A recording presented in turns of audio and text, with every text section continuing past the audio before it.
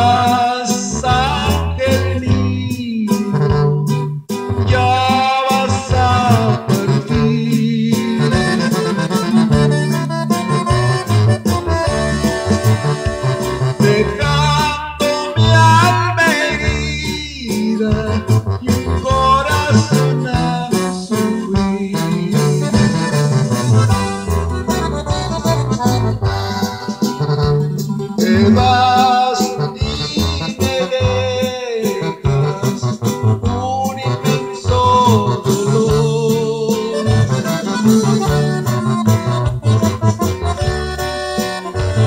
recuerdo no olvidar.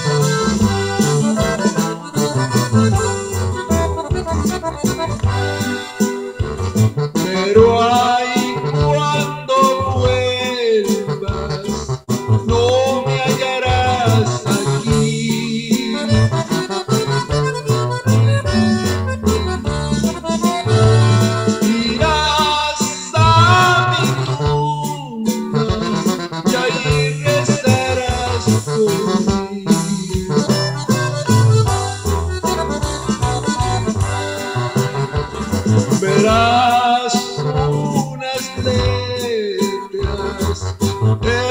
escritas ahí.